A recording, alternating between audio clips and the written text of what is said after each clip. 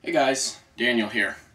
This video is basically more advanced into how to make biodiesel and uh, I had some of my subscribers and friends ask me um, in depth how much kerosene, how much gasoline, how much DSC, and how much um, Power Service Diesel Kleen do you need per so many gallons of oil, so to speak.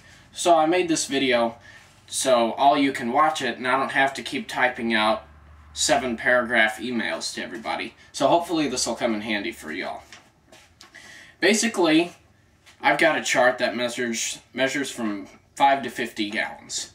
So for 5 gallons of oil, vegetable oil or cooking oil, frying oil, that kind of stuff, you're going to want a half gallon of kerosene, quarter gallon of unleaded gasoline, 4 ounces of Power Service Diesel Kleen, which is this stuff right here. It's a gray container.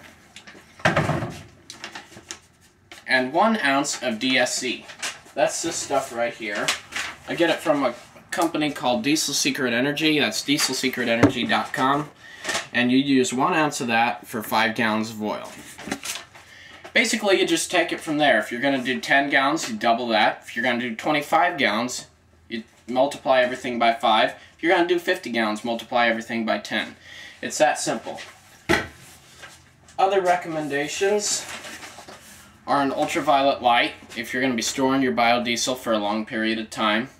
Uh, mount this light to the top of your barrel lid and let it run for a few hours and that'll kill any bacteria which can cause clogging in your fuel lines and um, excess buildup in your fuel filter. So this you can avoid that by using an ultraviolet light. Another thing you can get is Diesel Secret Energy's water crystals. Basically, you'll take a filtered funnel, pour a few of these in, and as you're running your oil through the filter, these crystals will absorb water. And every once in a while, check the crystals. If they start softening up, then you can tell that you've got some water in your fuel, and you'll need to run it through a water block filter. So, I would recommend using that, so you don't get water in your engine, which can be very bad for a diesel engine. That's pretty much it. Um, uh, if you have any other questions, just feel free to contact me via YouTube mail, or you can uh, leave a comment on this video. That'd be great too. Be sure to rate it. so, hope this video came in handy for you guys, and I'll see you next time.